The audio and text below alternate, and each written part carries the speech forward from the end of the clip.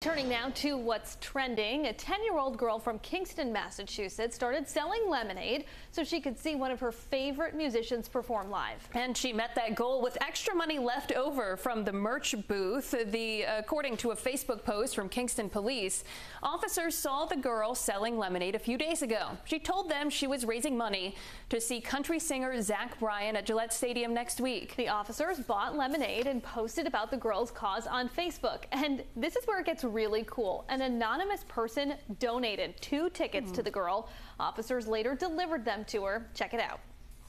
So, I have some news for you.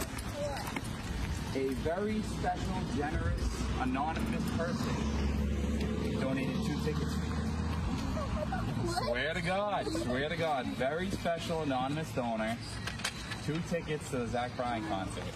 You are going restores your faith in humanity, right? Police went on to say in their post quote, it's things like this that show how great our community is and the positive impact social media and one very generous person can have on our community. I bet she's going to have a great time. Oh yeah, she's going to have the best time and what an awesome story. I mean, you could just see the the joy in her face when she found out she was going. She'll never forget that.